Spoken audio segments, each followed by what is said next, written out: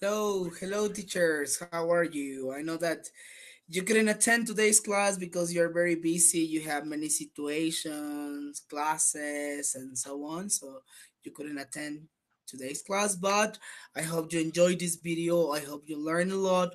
And remember to type, uh, write your comments in Edmodo so that I can look at them. And if you have any question or doubt about this topic, I can handle it and we can work together in order to to understand better what we're looking at.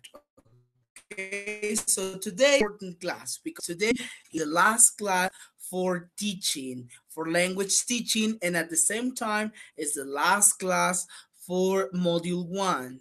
Okay, so you are done with module one.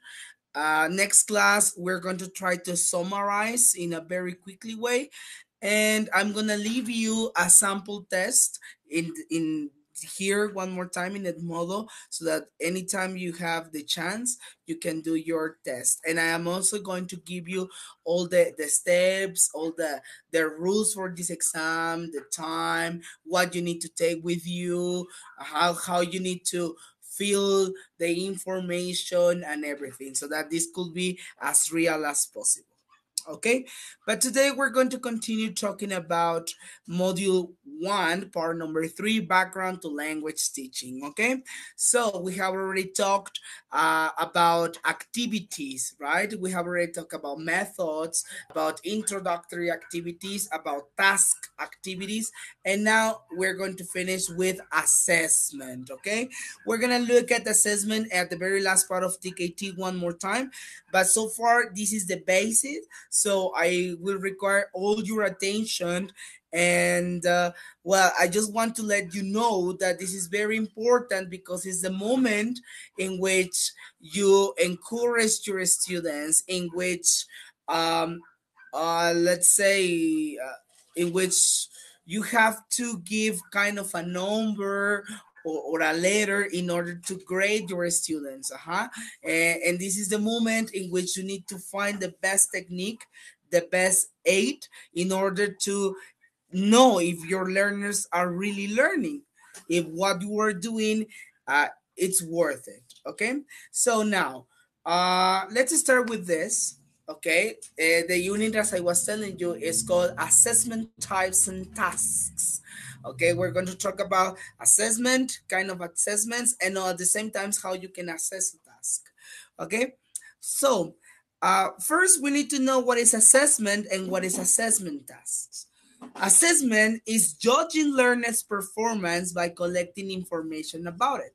What is this? Well, we have different techniques in order to assess our students. You can just say, good, congratulations, well done, uh, you did a good performance, that was okay, excellent, or you can have a better or a more formal assessment, such as a test, right? Maybe you applied a test, uh, maybe you give a grade, you leave a project, uh, and so on. So that's assessment. What is assessment tasks? Well, basically, it's evaluating activities through their requirements. Okay, so as I was telling you, uh, a task. Uh, maybe you will say, for the end of this course, you're going to write a complete paragraph about um, about your habits, habits and routines. Okay, what do you need to use? Well, present simple, Okay, that's the first requirement. The next, you need to apply or you need to write the adverse of sequency, adverbs of frequency. So we have now three requirements.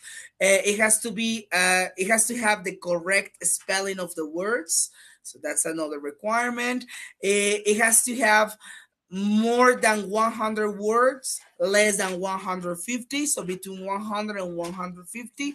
And then all these requirements are involved in these assessment tasks, which is not the same as a test or as a, another kind of just a little activity that they are performing during the classes. Okay, very good. Now, um, in this case, we also have assessment divided into two important categories. We have informal assessment and formal assessment. What is informal assessment? Is when we observe learners to see how well they are doing something and then often give them comments of their performance as I was telling you, this is the moment in which you just say, "Hey, well done. Continue like that. How you did a good job. I'm very happy for you." Or maybe not that positive. Maybe you can say, "You made a mistake in this, so please try to fix it." And uh, I don't know, like uh, your pronunciation is bad. Be careful with the R sounds, with the vowel sounds, and so on.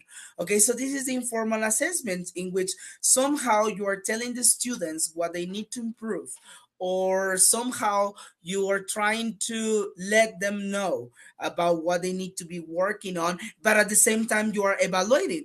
Maybe you you put a tick on your list, right? Like maybe he did a little bit bad or maybe a comment right? He did a he did a little bit bad but it was okay. I, I mean like he got the task or i don't know okay?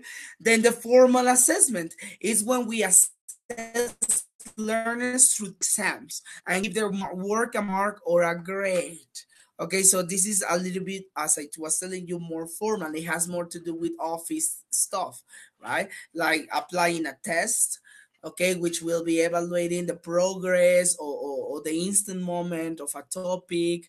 Uh-huh. And also you will require a mark. For example, uh, in this case, TKT is formal assessment because you're going to apply an exam, okay? And you're going to get a mark. In this case, it's graded by bands. Uh-huh. So if you get band four, that means that you have a good level of teaching. You have more or less or um, no not more or less. You have a lot a lot of information related to teaching. Mm-hmm. so that's that's a formal assessment. Good. Informal assessment is like somehow what i do right? Because you do some exercises in in, in edmodo you answer to some quizzes. You answer some stuff here. But i am not grading you I am just taking my notes. I am just looking at the graphics about who is connecting or not, and that's it. But that's an informal assessment because I'm not saying, hey, Francisco, you got an A, or Caroline, you got a, a C in this case. No, no, no, no, nothing like that. So it's informal. Mm-hmm. Now we continue. Now, I will start with formal assessment because um, it has like more subcategories and we need to be aware of the kind of tests as i was telling you is when we have examinations and most of the times they are they tend to be formal. So for formal assessment we have first the diagnostic exam or diagnostic test. What is this? Well it, it helps us to find out what students know and don't know usually applying at the beginning of a course Okay, so this is a test in which we can look or we can see uh, how much the students know, if they are in the correct level, uh, or if they need some help, especially for you know like these um, uh, these schools like secondary, high school, in which sometimes people or students from secondary that pass to high school, we don't really know what topics they saw in the secondary. We don't really know if they already know some basis of English or they are full beginners and so on. Now, we, we also have the placement test. What is this test? Is to decide what level of class the learners should go into. So in this case, uh, this is especially for, for, for example, for us that we teach in CELEX, there are many students that say, well, uh, I want to enter to CELEX, but I, I, but I need to go or I want to go to the to highest level because I know a lot of English and and I have practiced that and I've been abroad for two years and so on. So you you you might say, okay, that's okay. Thank you for telling me. But anyway, I need to apply a placement test because I know you're telling me that you have a good level. Then show it to me, and then they do the placement test. And if they have the knowledge, they can be in the in the uh, let's say advanced levels. But if they don't prove that, then they will go to the lowest and so on. Okay, obviously that will depend on the school, that will depend on the on the situation, right? What kind of levels they have. Maybe they have eight, they have seven, six, I don't know. Okay, so this is the placement test. Now let's go with progress test. This is basically, or we use it to find out how learners have learned a part of a course. This is just for a part. Mm -hmm. For example, let's see. In this case, in this course, we are going to be divided into the three modules. Today, we're finished with module one. So your progress test is what you're going to do during this weekend and part of next week. Because I want to know how you have progressed with this test, at, at least from this module one. Mm -hmm. And later on, maybe we will continue with other kind of tests, but that's it. This is very important because with this, I might be finishing one topic, or in this case, the part of the course that is module one, and that's it. Formative assessment. We use information from assessment to feed into our teaching and maybe give learners feedback. Okay, what is this? Well, basically, they are formal and they can be marked or not.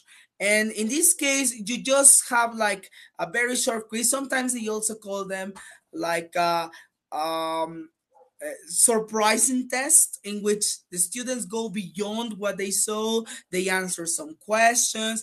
And if the teacher sees that something is getting wrong or something is a little bit um, complicated for them, he will give feedback uh, so this uh, formative uh, assessment uh, basically is to get information, to get information for from the students to see how well they are doing, how well they, they are learning the topics. Uh, so that you can help them. That's why it's called formative because you're forming the students little by little. If they haven't got a topic, then this is the moment in which you can recover that topic. Mm -hmm. Now, continuous assessment, having a truer picture of how well the learners have learned, and it's less threatening and more formative than an end course exams. For example, composition in week two, a presentation in week four, an essay a week in week six, etc. So the continuous assessment is not exactly a test okay? Doesn't have to be exactly a test. Maybe it is just a, a, continuum of working during weeks or months and so on okay? So maybe in this unit i'm going to be evaluating with your test but at the same time with an article. Mm -hmm. then next week i'm going to be evaluating not not with a test but with a role play.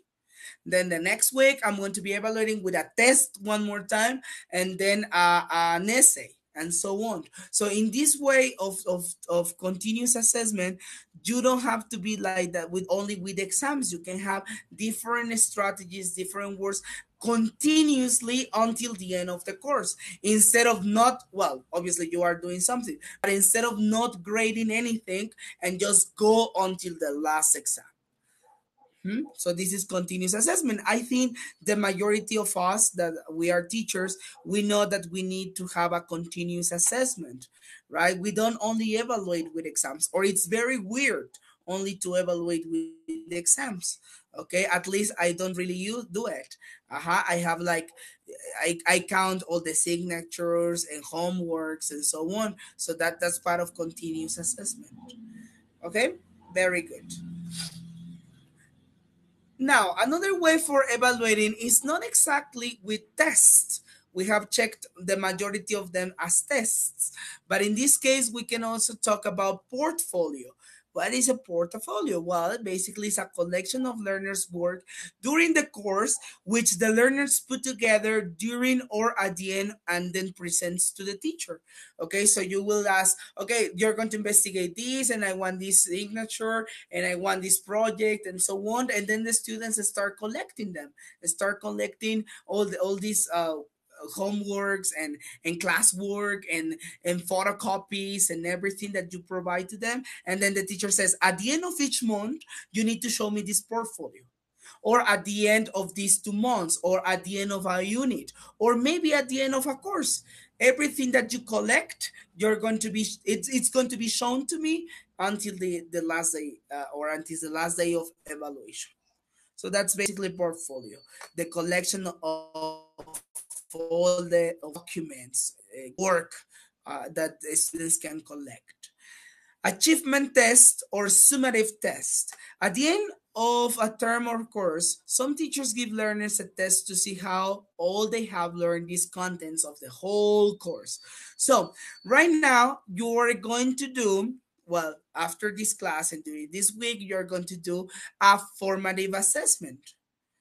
No, sorry, sorry, sorry. It's a prog progress test or uh-huh, it's a progress test test because you're going to be applying for kind of the real module one Mm-hmm. But at the end of the module one, module two, and module three, you are going to have a summative test, which we which will be evaluating the whole modules. Okay, so get ready for that. Don't don't don't be scared. It's just to know in which module module you need to work more, in which you need to work uh, maybe less, but still continue practicing and so on. Uh-huh. Then we have the proficiency test.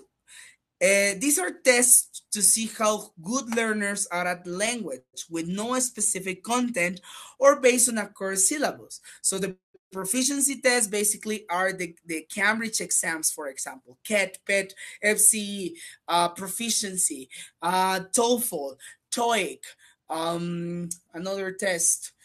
Well, all these tests that will be evaluating how you know the language but they don't have anything to do with the syllabus not like that so you don't have like a content based it's what you know and you need to apply it and you need to express yourself. In this case tkt you have a course yes you are preparing yourself. And i am providing you with the best of, of the topics and and with uh, try to summarize all these uh, concepts. But in the real exam maybe you will be asked something that we didn't look at that you know like like deeply. Uh-huh, because that's how exams like these are right so that's why it's very difficult to provide courses from KET, PET, because we only give you the strategies. But at the end of the, or well, the, the day of the exam, you won't have the syllabus. Uh-huh. So be careful with that. Okay, now with this, that's okay. I hope it is okay, teachers. Remember, for formal assessment, we have diagnostic test, placement test, progress test, formative assessment, continuous assessment, portfolio, achievement test or summative test, and proficiency test. Now let's continue with tasks.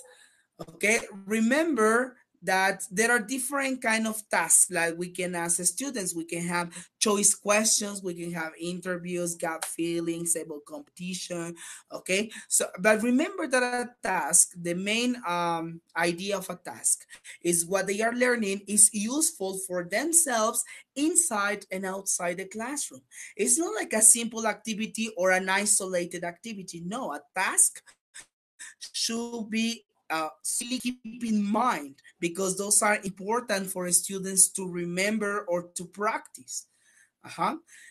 And in this case, we have two types of tasks. We have objective tasks and subjective tasks. What is objective? Well, the marker does not have to judge whether an answer is right or wrong, or how right or wrong the answer is, because there is only an answer multiple choice, true, false, gap fillings, etc. One disadvantage is that they do not test real use of the language. Okay, so you might you need to keep this in mind. An objective task is when we we as the markers, as the ones that are grading, uh-huh, we don't have to pay attention to the to the spelling we don't have to pay attention if they are doing correct or not because you they are like option like they have options and there is only one answer a b c or d true or false or no information and that's it mm-hmm.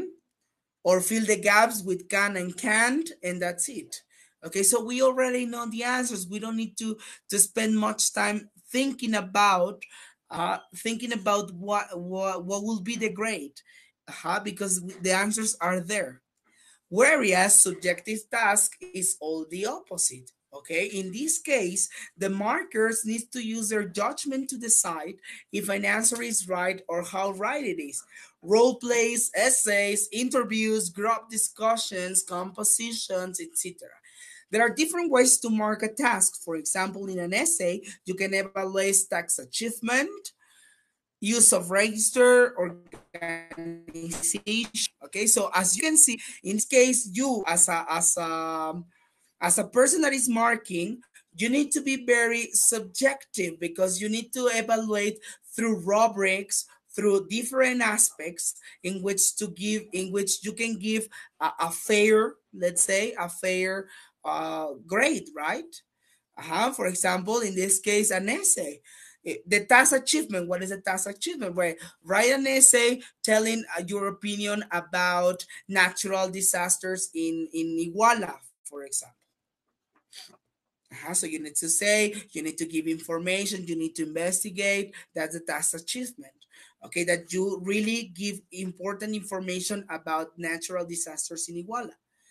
Use of register. Obviously, as it is an, a, an essay, it, is, it has to be formal. So avoid, please, contractions, avoid phrasal verbs, idioms, because they need to be formal organization remember the structure right of uh, the format. Let's say uh, we have an introduction then the thesis then the body then the conclusion the references uh, by uh, the biography by biography and so on all right? So everything like that.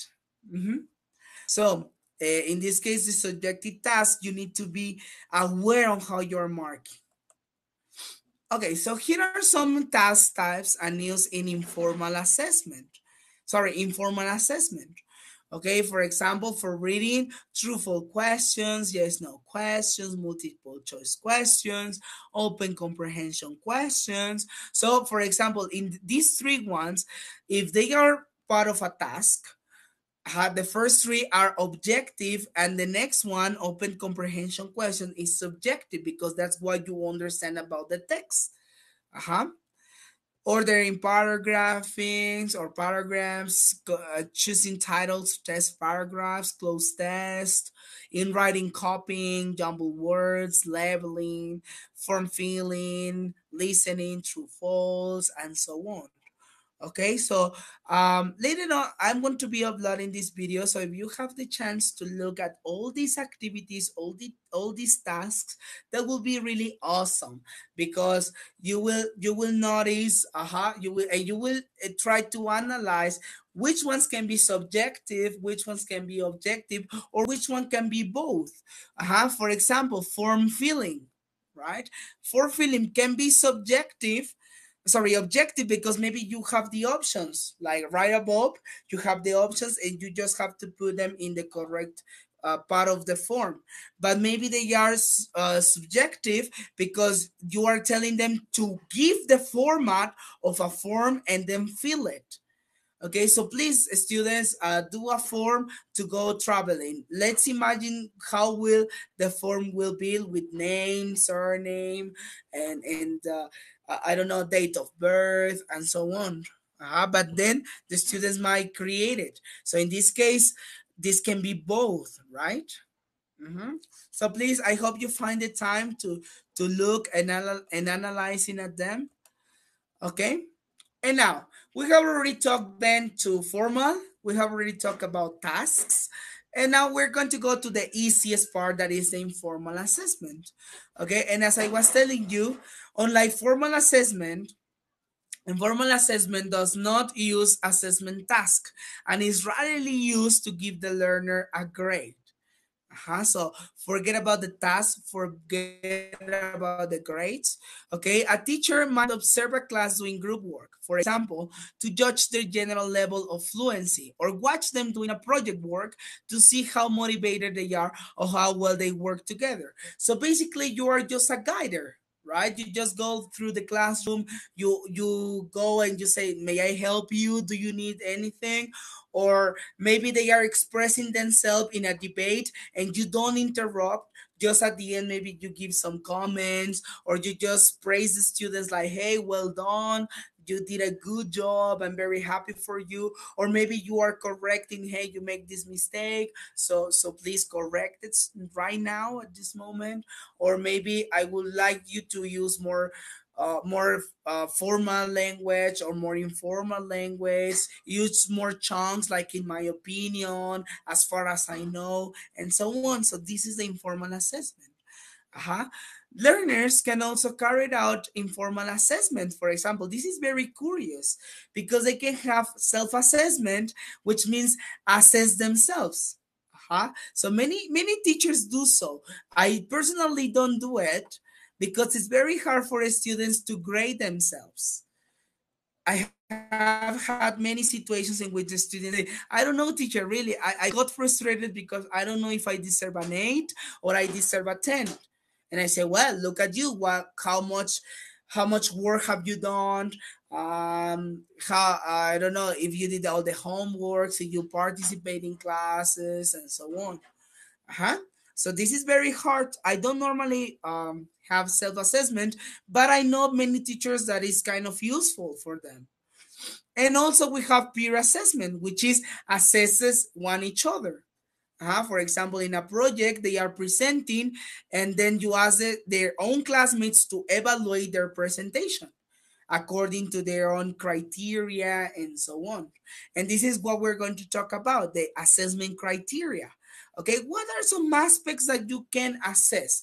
Uh, either for formal, informal, for tasks, never mind. For self-assessment for peer assessment okay? These are kind of some of the aspects of the criteria that we as teacher can can be evaluating class per class with our students. We can evaluate fluency using language accurately using language appropriately uh, interactive strategies pronunciation vocabulary range discourse organization, uh, and so on.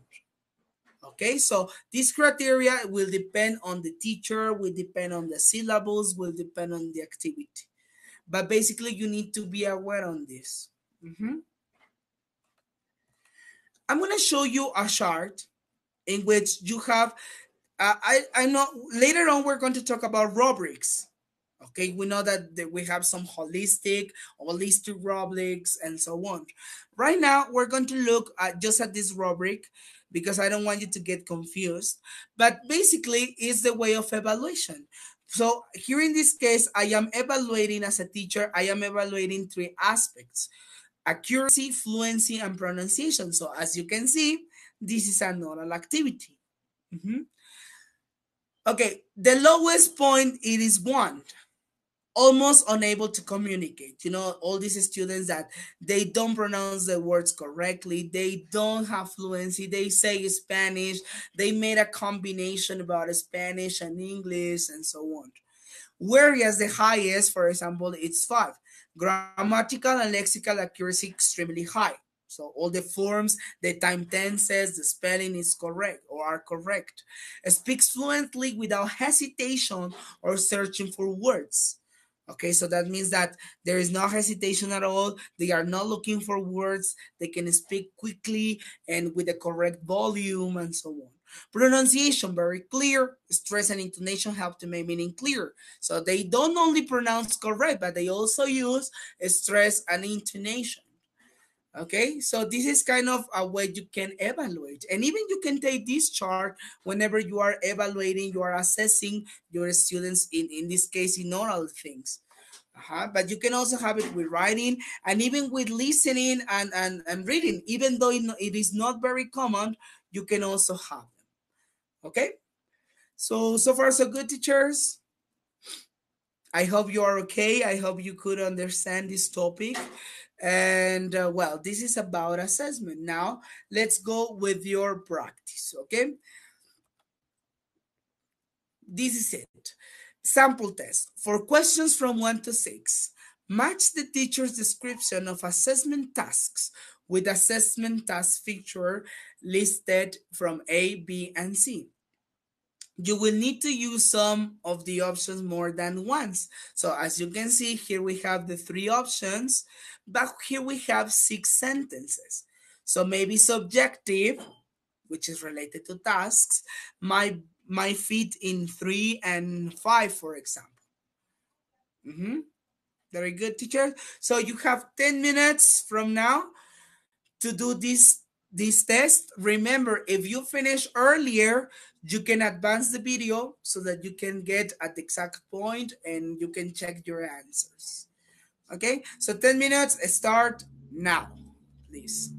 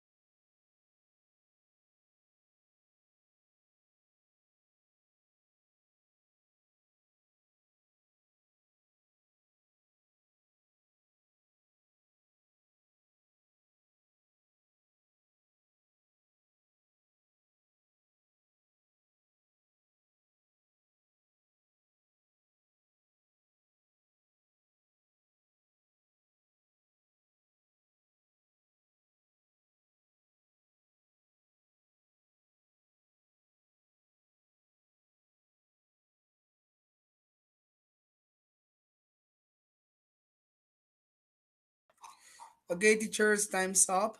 And anyway, if you haven't finished, you can get more time, or if you have already finished, which I hope so, uh, well, we will check the answers so that you can see how well you did. And I'm sure you did very, very well. Okay, for number one, it's letter C. It's a subjective. Why? I have to give my student a test at the end of the year so the students can get a grade. So remember, in this case, sorry, it is it is C, sorry, formal, right? Because remember that formal assessment implies tests. Uh-huh. I asked the student to do a multiple choice test from their course book, then mark it themselves with an answer key. They didn't show me their results. So in this case, it's B, objective. Okay, why? Because, well, basically the student is the one that is, uh, we only had one option because that's why here it says the answer key. Uh-huh. So in this case, the students are the ones that are showing the options, they are dealing with them, and so on. Number three, the students discuss a topic in groups and I listen to get an impression of their level. In this case, it's subjective, right? Because then I, me as a teacher, I am evaluating this time. I am the one who is going to give a grade. I am the one who's paying attention and so on. The student listen to one another giving presentations. They give feedback on them one more time subjective okay because it's a little bit uh more formal i will need to have a range of of the presentation and me as a teacher i need to provide feedback to them uh-huh I often ask my students to do a short field tasks, which there is only one answer to. They keep a record on their scores. One more time, in the previous one, for example, we didn't have any options because it's a presentation. We just need to evaluate. But in the fifth one, we have uh, we have only uh, one one option. Okay, so there is only an answer. And finally, six, the students heard paces of work through them for, for me to mark. So that C, that is formal. Uh-huh. So in this case, it's the student's work and I need to mark and I need to give them the, the grade. So I just want you to remark teachers this, that you need to find the, the keywords. Okay, for example, in the last one, we have mark. And whenever we have mark, that means that they are requiring a letter or a number. So this is formal. Uh-huh like in the first one, get a grade. So maybe these can these keywords can help you to understand about this. Uh-huh. Or for example, in this one, there's only one answer. So whenever we know that we have answers, we have options, it is objective right okay because it doesn't implies us to be the ones that are evaluating we already know we all the, the things or the pieces of work have answers okay so I hope this can be clearer. And if you have, by any chance, if you have comments, questions about this class, please write to me and we can discuss about this next class. Okay. So, so far, that's all by me. And I hope you enjoyed today's class. And well, I hope you can do the activities. As I was telling you, I will be uploading the sample test of module one Okay, so I hope you can look at it and uh, well, see you see you next class. We will get in touch in Edmodo and well, I hope you have a nice weekend. If you're looking this today or tomorrow, have a nice weekend. If you're looking this on Monday or Tuesday, I hope you have an excellent beginning of week. Okay, so goodbye, teachers. Thank you very much and see you next time. Bye bye.